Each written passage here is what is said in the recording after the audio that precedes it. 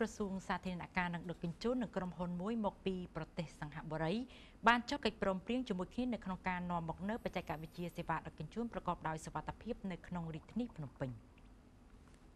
ក្រសួងសាធារណការនិងដឹកជញ្ជូននាព្រឹកថ្ងៃទី19ខែធ្នូឆ្នាំ2017នេះបានចុះអនុសារណៈយោគយល់គ្នាមួយជាមួយនឹងក្រុមហ៊ុន Grab របស់ប្រទេសសង្ហបុរីនៅក្នុងការនាំមកនូវសេវាដឹកជញ្ជូនតាមតម្រូវការប្រកបដោយសុវត្ថិភាព និងងាយស្រួលតាមរយៈការប្រើប្រាស់បច្ចេកវិទ្យា App នៅក្នុងទូរស័ព្ទដៃដែលមានចាគឺអ្នកប្រើប្រាស់ប្រមាណ72លាននាក់និងអ្នកជិះរាប់លាននាក់ទៀតនៅតំបន់អាស៊ីអាគ្នេយ៍តាមរយៈអនុសារណៈនេះក្រុមហ៊ុន Grab និងក្រសួងសាធារណការនិងជញ្ជូននឹងធ្វើការរួមគ្នា ជួយវិភាគអំពីការគ្រប់គ្រងចរាចរណ៍ដោយប្រើចំណុចគោលដៅរថយន្ត តាមប្រព័ន្ធ GPS របស់ក្រុមហ៊ុន Grab ដើម្បីជួយទៅដល់អាជ្ញាធរពាក់ព័ន្ធបានដឹងពីតម្រាយផ្លូវដែលកកស្ទះហើយបញ្ជានៅចាគឺបញ្ជាផ្លូវវាងធ្វើឲ្យការធ្វើដំណើរមានភាពងាយស្រួលនិងរហ័សទាន់ចិត្តតាមរយៈកម្មវិធី Just Grab នៅក្នុងប្រព័ន្ធទូរស័ព្ទដៃអតិថិជនលោកវីតាំងយីប្រធានក្រុមហ៊ុន Grab ប្រចាំប្រទេសកម្ពុជា និងប្រទេសថៃគឺបានថ្លែងថាក្រុមហ៊ុននឹងប្រើប្រាស់វិទ្ចាគឺវេទិកាបច្ចេកវិទ្យាដើម្បីអភិវឌ្ឍសេវាដឹកជញ្ជូនប្រកបដោយសុវត្ថិភាពភាពជឿទុកចិត្តមានសេវាទូលំទូលាយនៅក្នុងការគ្រប់គ្រងចរាចរណ៍កាន់តែប្រសើរពិសេសចូលរួមគ្រប់គ្រងទៅដល់ការអភិវឌ្ឍហេដ្ឋារចនាសម្ព័ន្ធនិងសេដ្ឋកិច្ចរបស់ប្រទេសកម្ពុជា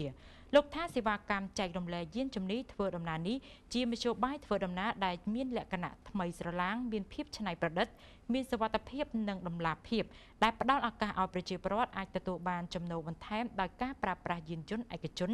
ឬសម្រាប់គ្រួសាររបស់ពួកគាត់ដើម្បីផ្ដល់សេវាដឹកជញ្ជូនដើម្បីប្រើប្រាស់សេវានេះលោកអ្នកចាគឺលោកវីតាំងយីបានណែនាំសេវាកម្មបង្កើតថ្មីមួយគឺ Just Grab តាមរយៈកម្មវិធី Grab App នៅក្នុងទូរស័ព្ទដៃសេវាកម្មនេះនឹងនាំរថយន្តទំនេរដែលនៅចិត្តឲ្យទៅឲ្យលោកអ្នកចាគឺ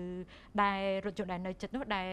ឲ្យទៅអ្នកដំណើរដែលនៅចិត្តបំផុតនឹងចំណាយពេលវេលារងចាំតិចតួចជាងនេះទៅទៀតសេវាកម្មនេះអ្នកដំណើរអាចដឹងអំពីតម្លៃនៃការធ្វើដំណើរមុនពេលកក់រថយន្តសម្រាប់ជិះទៅកាន់ទីតាំងដែលខ្លួនត្រូវទៅ ឯកឧត្តមសុនចន្ទថររដ្ឋចាគឺទេសរដ្ឋមន្ត្រីរដ្ឋមន្ត្រីក្រសួងសាធារណការនិងដឹកជញ្ជូនដែលបានអញ្ជើញជាអធិបតីនៅក្នុងពិធីសម្ពោធបើកដំណើរការជាផ្លូវការនៅសេវាកម្មចែករំលែកយានជំនិះ Crab Cambodia ខាងលើនេះបានចាត់ទុកការផ្ដល់សេវាកម្មដឹកជញ្ជូនប្រភេទថ្មីដែលប្រើប្រាស់បច្ចេកវិទ្យាថ្មីនិងជួយសម្រួលទៅដល់ការដឹកជញ្ជូនតាមតម្រូវការនិងការទូទាត់ចល័តមានភាពងាយស្រួលជាងមុននឹងការអភិវឌ្ឍសេវាដឹកជញ្ជូនដោយសុវត្ថិភាពនិងទំនុកចិត្ត គូបញ្ជាក់ថាបច្ចុប្បន្ននេះកម្ពុជាក្លាយជាប្រទេសទី8នៅក្នុងតំបន់អាស៊ានដែលមានក្រុមហ៊ុន Grab បានផ្ដល់សេវាកម្មប្រភេទនេះហើយសប្តាហ៍ថ្ងៃនេះក្រុមហ៊ុន Grab គឺកំពុងតែប្រតិបត្តិការរបស់ខ្លួននៅក្នុងទីក្រុងរបស់អាស៊ានចំនួន